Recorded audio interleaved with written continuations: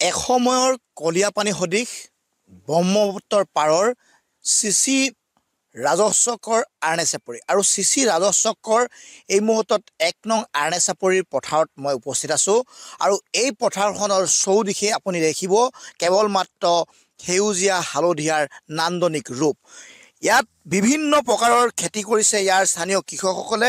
আৰু এই ক্ষেত্ৰত সবাতোকৈ চৰ্চিত এটা নাম হৈছে এই অঞ্চলৰ এগৰাকী প্ৰগতিশীল খেতিয়ক ভুৱন পেগু।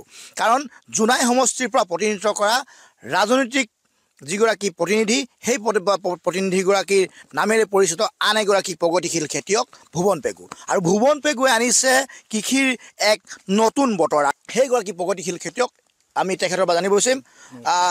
ৰাজনীতিৰ পথাৰত যেনেধৰণে ভুৱন পেগু জোনাই সমষ্টিক চৰ্চিত আপুনিও কিন্তু এই এগৰাকী প্ৰগতিশীল খেতিয়ক হিচাপে কৃষি বিভাগৰ দ্বাৰা যিসকল কৃষি কৰ্ম জড়িত তাক আপোনাক ভুৱন পেগুক আপোনাক চিনি পায়। কেনেধৰণে আপুনি এই আপোনাৰ পৰিক্ৰমা আৰম্ভ কৰিছিল কেতিয়াৰ পৰা খেতিত লাগিছিল আৰু আপোনাৰ বৰ্তমান আপোনাৰ এই খেতিত আপোনাৰ কেনেধৰণে আপুনি উপাৰ্জনৰ মুঠ দেখিছে ইয়াত আপুনি কেনেধৰণৰ লোকক সংস্থাপন কৰিছে? হয়। মই প্ৰায় মোৰ এতিয়া মানে মনত পৰা হিচাপে মই পোন্ধৰ ষোল্ল বছৰমান হৈছে খেতি ক্ষেত্ৰখনত নামি অহা। প্ৰথমে আমাৰ ইয়াত বানবিষ্ট হৈছিলে। ইয়াৰ পৰাই আমি আৰম্ভ কৰিলোঁ এইটো খেতি। মানে যিটো ধান খেতিৰ পৰিৱৰ্তে আমি ৰবি বা এনেকুৱা চব্জি খেতিৰ মানে হেৰিলৈকে ক্ষেত্ৰখনলৈকে ইয়াত মানুহ ধৰক পাৰ্মানেণ্টলি দুইজন মানুহ থাকে ধৰক। প্ৰতিমাহে আপুনি অমিতা বিক্ৰী কৰি কিমান টকা লাভ কৰে? প্ৰতিমাহে মানে মোৰ ডেইলি চিষ্টেমত কি হয় কাৰণ অমিতা মই কেঁচাকৈ বিক্ৰী নকৰোঁ মই পকাকৈ বিক্ৰী কৰোঁ। ডেইলি পঁচিছ ত্ৰিছ বা চল্লিছটা কেতিয়াবাই অৰ্ডাৰ হিচাপে অনুযায়ী মই দি থাকোঁ আৰু। আৰু আপোনাৰ কি কি খেতি আছে ইয়াতে? মোৰ খেতিবোৰ বুলিলে লাই লফা মূলা ধৰক পালেং আপোনাৰ বিলাহী জলকীয়া বুট জলকীয়া আৰু ফুলকবি বন্ধাকবি মটৰ চুইটকৰ্ণ কোনে কোনে সহায় কৰে? ইয়াত সহায় কৰে মা দেউতা আছে আৰু মোৰ মানুহজনী বিশেষকৈ বেছিকৈ মোক সহায় কৰে।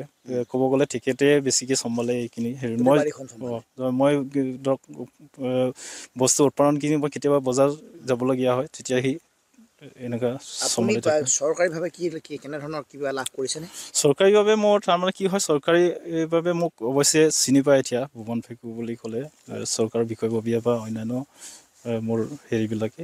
এতিয়া এইবিলাকৰ পৰা মই কিছুমান সা সুবিধা মই সহায় বিচাৰোঁ। কিমানমান টকাৰ ব্যৱসায় কৰে? সেইটো মই ব্যৱসায়টো কিমান বুলি মই ডাইৰেক্টলি ক'ব নোৱাৰোঁ। মোৰ তাৰমানে কি হয় মোৰ ঘৰখন চলে অকল খেতিৰ পৰা। মই বেলেগ কোনো ব্যৱসায় বেলেগকৈ নকৰোঁ মাত্ৰ খেতি উৎপাদন কৰোঁ আৰু বিক্ৰী কৰোঁ। আৰু সমানপতিভাৱে আপুনি এইবাৰ আপোনাৰ আপুনি এইবাৰ আপোনাৰ লক্ষ্য কিমান আচলতে?